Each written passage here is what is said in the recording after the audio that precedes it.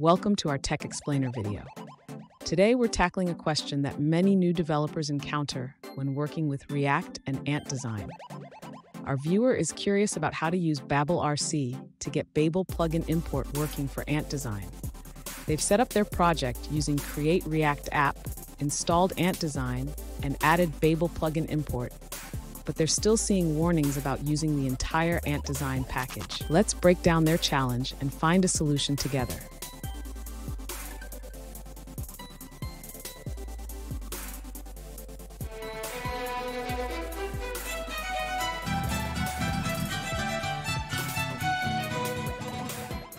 Welcome back to another technical video. Today I'll be going through your questions, answering them and hopefully finding that solution that you're looking for.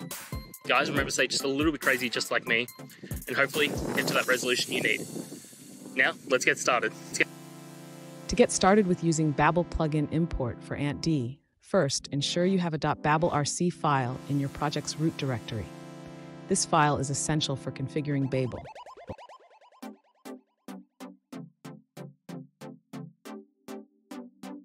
Next, let's check if your project is set up correctly. Since you used Create React App, it comes with its own Babel configuration. You might need to eject your app to customize Babel settings directly.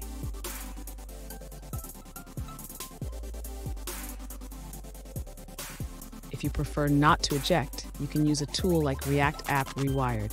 This allows you to override the default configuration without ejecting. Install it using npm.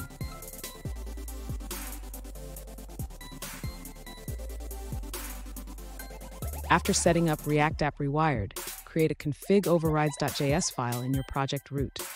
Here you can add the Babel plugin import configuration.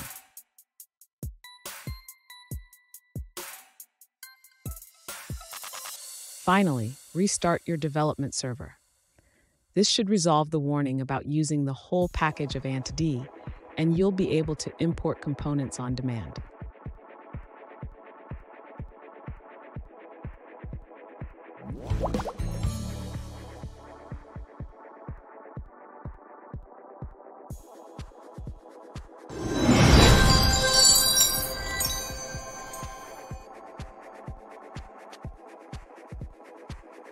Let's now look at a user-suggested answer.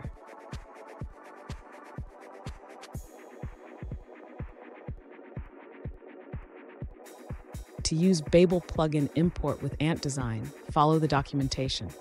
If you're using Create React app, remember you can't change Babel configuration directly without ejecting.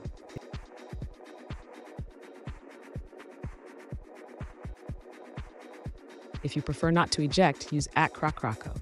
You can add your Babel configuration in craco.config.js.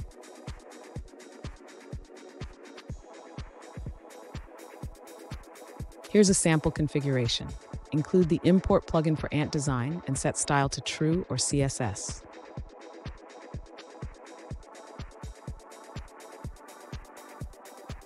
Don't forget to update your scripts in package.json to use Craco instead of React scripts.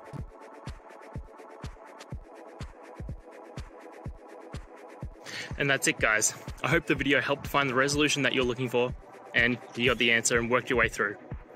If it did, please hit subscribe. I'd really appreciate it. And until the next time you need technical help, I hope you have a good one.